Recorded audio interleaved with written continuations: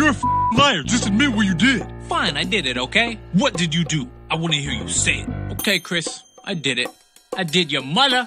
This is funny to you? Cheating us out of a playoff game? Cheat you. You cheat the game. You don't even try to make shots. You just flail around and try to go to the foul line. You're lucky I don't smack the taste out of your mouth. Go ahead. You already got fined 35 grand. Why not go for more? Tell the league to bill me.